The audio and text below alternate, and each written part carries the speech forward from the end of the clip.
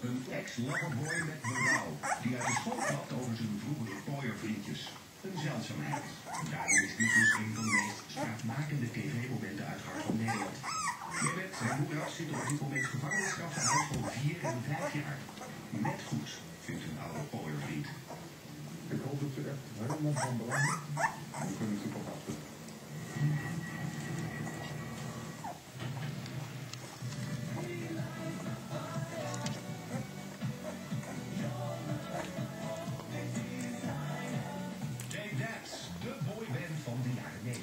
Gary, Jason, Howard, Mark en natuurlijk Robbie Williams.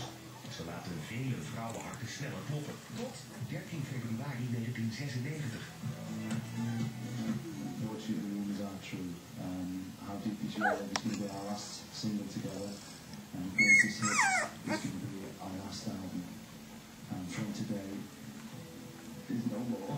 Hmm. De mannen houden het na een aantal zeer succesvolle jaren voor gezien. Robbie Williams is dan al eerder met een conflict uit de groep gestapt. De fans vinden de speler maar moeilijk verwerken. Oh,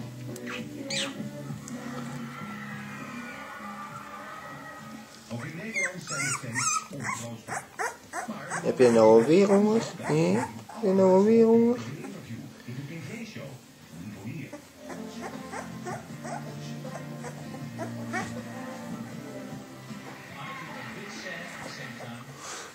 It's a very sad time, you know. Tomorrow we all go our separate ways, in a way. I mean, we'll still see each other, but it is a very sad time, and we're a little bit numb, I think, at the moment. Howard, he remains best friends, definitely. You know, we're all, perhaps me and Marky might be writing a song together, or me and Gary, or me and Jason, you know, we'll all be seeing each other. and maybe a reunion concert within 10 years. Oh, you never know. Well, Jason, you're going to perform your very, very, very, very last song now. This, this song we're going to do now is uh, it's going to be special because it's uh, the last one we're doing, the last one we released.